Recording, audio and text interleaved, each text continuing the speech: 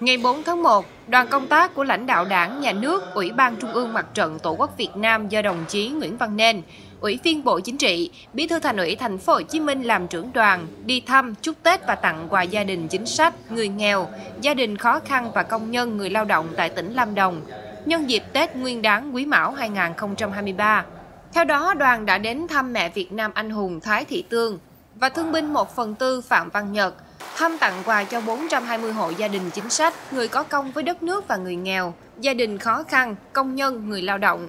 Chúc Tết lãnh đạo tỉnh ủy, Hội đồng Nhân dân, Ủy ban Nhân dân, Ủy ban Mặt trận Tổ quốc Việt Nam tỉnh Lâm Đồng và huyện Đức Trọng. Trong không khí đầm ấm những ngày cận Tết, Bí thư Thành ủy Thành phố Hồ Chí Minh chia sẻ, dân tộc ta vốn có truyền thống hiếu nghĩa, Mỗi khi Tết đến xuân về, mọi người cùng nhau thăm hỏi, chúc Tết với nhau. Lãnh đạo đảng và nhà nước cử nhiều đoàn công tác đi thăm chúc Tết và lắng nghe những chia sẻ của bà con ở khắp mọi miền Tổ quốc.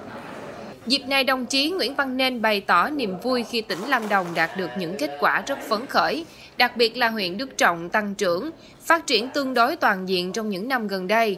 Trong đó, số hộ nghèo ngày càng giảm, hộ khá tăng, hộ giàu tiếp tục phát triển, chất lượng sống của người dân ngày một nâng cao, đồng bào các dân tộc đang nỗ lực vượt qua khó khăn để vươn lên từng ngày, đóng góp chung vào công cuộc xây dựng quê hương đất nước ngày càng giàu đẹp.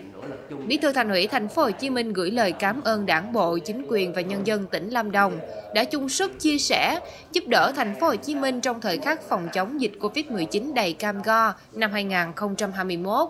nhất là việc cung cấp nguồn rau xanh liên tục cho thành phố Hồ Chí Minh để đảm bảo nhu cầu thiết yếu của người dân thành phố. Tại nhà mẹ Việt Nam anh hùng Thái Thị Tương, Bí thư Thành ủy Thành phố Hồ Chí Minh Nguyễn Văn Nên cùng các đại biểu trong đoàn đã ân cần hỏi thăm sức khỏe mẹ, chúc mẹ luôn luôn khỏe mạnh, sống lâu, sống vui với con cháu và làm điểm tựa để con cháu noi theo, đóng góp xây dựng quê hương đất nước ngày càng giàu đẹp hơn. Sau đó đoàn đến thăm thương binh 1 phần tư Phạm Văn Nhật. Ông Nhật sinh năm 1953, quê quán ở Duy Tiên, Hà Nam. Trước năm 1975, ông đi bộ đội tham gia kháng chiến chống Mỹ. Ông được tặng huân chương kháng chiến hạng B.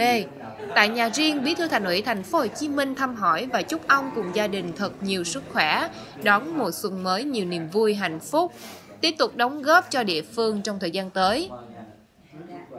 Đồng chí Nguyễn Văn Nên bày tỏ lòng biết ơn sâu sắc về những cống hiến hy sinh cho tổ quốc của mẹ Việt Nam anh hùng Thái Thị Tương và gia đình ông Phạm Văn Nhật.